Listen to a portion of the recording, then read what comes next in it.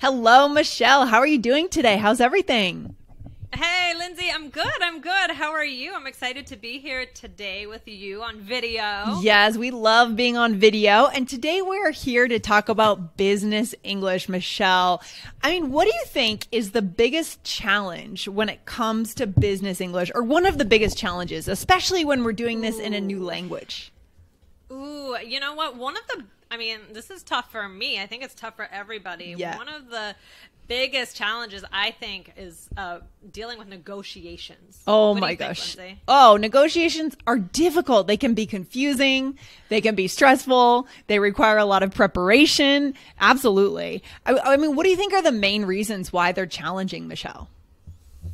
Well, I think a couple things. Number one is like the language Yeah. that you use, right? Yeah. And also culture. I mean, this could be, you know, we could mean culture around the world, but we could also mean like cult- company culture and things like that. Just I would say culture and language can just make this uncomfortable, maybe awkward, and there's there's a lot. There's a lot to go with uh, negotiations here. totally, totally. And uh, Michelle, international negotiations is something that we talk about in our Yeah. exclusive business English course, the Chinese exclusive version of it. I want to let our listeners know about this, that we have this course.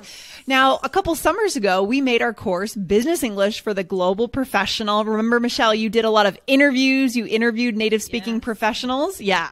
That's right. Yeah. Oh my gosh, that was so much fun. Yeah. And yeah, guys, one of the things we did talk about was international negotiations, right? Yeah, exactly. And now this year, we are launching along with Press Play Academy a Chinese exclusive version for our listeners of this course. That's why I'm so excited, Michelle, to talk about this. So right now, guys, we're going to tell you how to get this course, this exclusive Chinese version, because it's now available. And then we're going to talk a little bit more, Michelle, about negotiations. All right. Are you ready?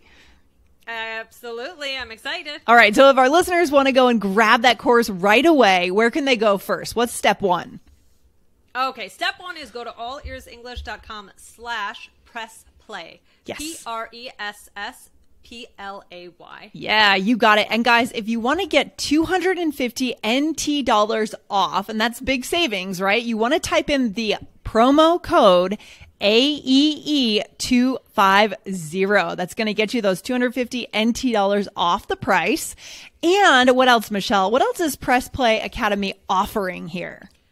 Okay, well, this is amazing. Yeah. So, Press Play Academy is offering an award of 2,000 NT dollars. That's for students who complete the two month study plan and assignments. So, you get an award for completing it. I know it's so cool, and that's if you join in this special, you know, early bird promotion period. It's not for anyone who joins later. It's just for the listeners and the students who join now. So if you guys are ready to really buckle down, learn about negotiations and business English, this is really the time to get in, right, Michelle? What do you think? Oh, yeah. Oh, yeah. There's a lot of exciting stuff going on this promotion. Very exciting stuff. So, guys, go on over there, allearsenglish.com slash press play to get in on this. Yeah, you got it. Michelle, let's get into a couple of vocabulary words, which are just a tiny, tiny sliver. What does that mean, Michelle? Sliver. Good bonus for today. A tiny tiny piece i think of a piece of pizza right Yeah. like uh, or or sometimes when you don't want to eat the whole cake you eat just like a sliver you can say can i just have a sliver it's a tiny piece Exactly. I think of a piece of cake, like a little piece of cake. You Yeah. want cake, but you don't want too too much. You don't want to feel awful. So we're giving you a tiny little sliver of what you're going to get in the larger course. Guys, there is so much more in this course. Let's talk about this word concessions. When it comes to negotiations, what does it mean? Well concessions are things that you have to concede which Yeah. means you wanted something but Yeah. in the nega- in the negotiation you have to say okay fine like i'm going to give that up Yeah. so that we can negotiate so it's the things that you kind of give up let go of It's so true. Have you done any negotiations lately, Michelle, in any aspect of life, whether it's business or just life, personal life, home life, anything? Um, not uh, sometimes with like uh, figuring out some childcare situations and Ah. talking to a summer camp or something like that. I remember with my son's summer camp, sometimes we had to you know make negotiations about the days and this and that and how does it work and Yeah. you know like there are a lot of things there. But I know you've been doing a lot of negotiations. Yeah, I've just had a yeah, I've just had a big event in my life, right? Probably one of the biggest events of one's life is I bought my first home. Right? Awesome! Congrats! That's right. Yay! So excited. Thank you, Michelle. Thank you. that was a weird scream. Yay! Um, so I bought my first home and inevitably there are concessions we have to make when we make our offer, right? In terms of that negotiation, right, Michelle? Right, right, right, exactly. So you that that's with a ton of things with homes, like buying a home. I know, yeah, you might have to concede something. So, Lindsay, I mean, uh, do you have any any like examples of that? Yeah, I mean, well, one of the concessions that we did not offer. So there's, you know, it's a tough housing market right now in Denver. Actually, to be honest, the whole country. Are you seeing that in New York City as well? The housing market is just insane. Everywhere is insane right Yeah. now, and the suburbs. A lot of people moved to the suburbs, and Right. So it's it's really crazy. So I would say the suburbs are really. I, I know for sure that they they're crazy out there. Yeah. So, but some concessions I was just not willing to give. So this is an example of a concession, something I did not concede to, right? So what many people buying houses in this market here in Denver are offering is they're offering the seller, you're going to, this is going to surprise you actually. They're offering the seller to, you know, 10% over market value, over value listing price. And then they're offering the seller like two months free rent to live in the house. Really? Yeah. Isn't that crazy? So that is an example of a concession I was not willing to give. Just the fact that someone wanted to live in my house for free after I bought it, it was too much. So guys, Yeah. some concessions we give, others we don't. In my case, for my home, we did concede to a few things, right? We actually allowed the contract to get to speed up, to move the dates up faster. So the process of closing went faster for the, the ah. estate that we bought it from. So that was, that's an example of a concession we did go for. And Michelle, there's another key vocab word that I think our listeners will find will tie right in here around negotiations and concessions. What is it? Okay, so this is finding common ground. So, Yeah. Lindsay, what is that and when is it important? Tell us about this one. Yeah, well, in the example of the house, and this is kind of a business negotiation is buying a house, right? Um, basically, you need to find what is the thing that both of you are willing to kind of that that you have in common. What is the thing that you share that's important that you could find that place? Michelle, what would be like how can we do this across cultures? How can we find common ground when we're doing business with someone from across the world? You know, in English, how can we do this? Ooh, um, good question. I, yeah, I, I don't know. I, I, I have assumed we're going to talk about this in the course. Yeah, we're going to get into it more in the course. So we can't give all the answers away today, guys. That's why you want to join the course. You want to get into it. But I think it has to do with getting to know the person as a person, trying to gather information, you know, about who they are, what they value. That is huge.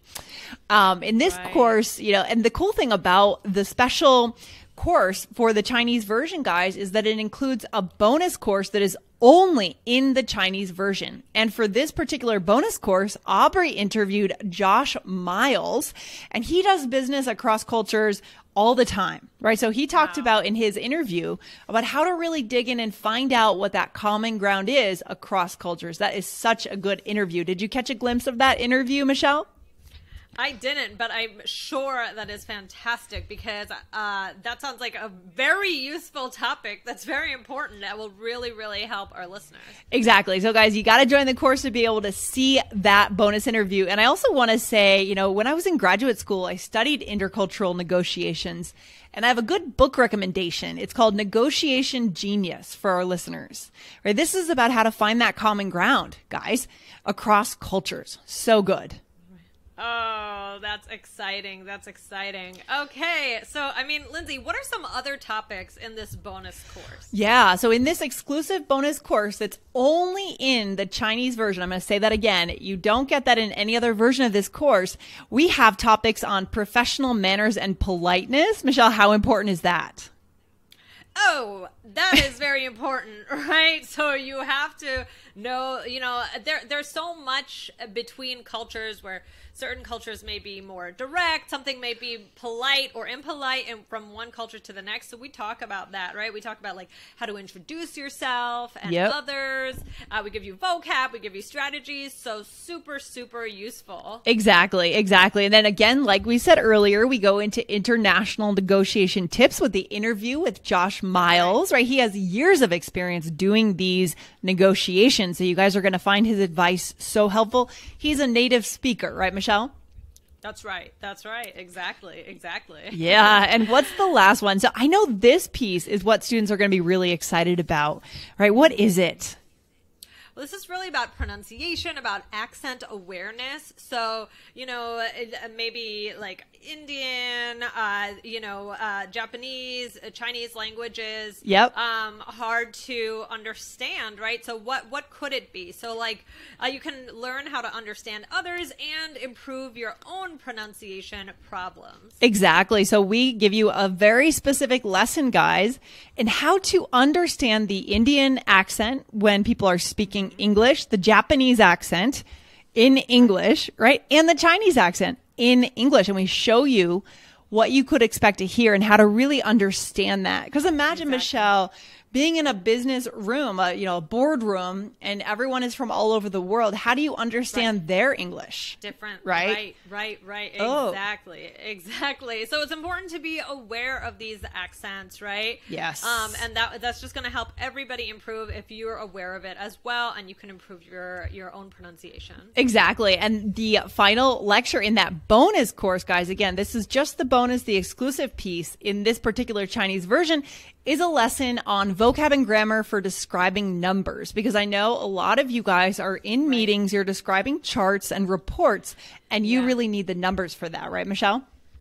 Absolutely absolutely that is huge that'll be very very helpful Yeah, I love it. And then we've got two role plays in there and we have transcripts for every lesson. So, Michelle, how can our listeners get it? I think we've described, you know, what's in here and there is so much more in there too. Right. But we need to know where to go to get this course. Where can we go?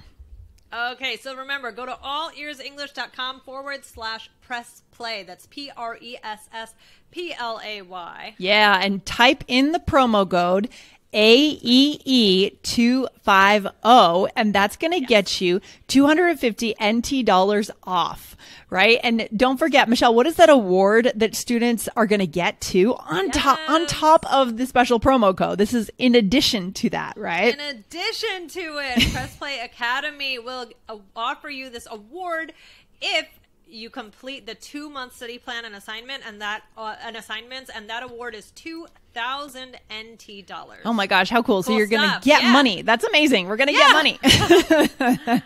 I love it. I love it. So good, Michelle.